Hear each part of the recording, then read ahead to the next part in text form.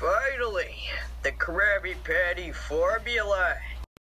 Oh no, not again. Uh, uh, not today, Plankton.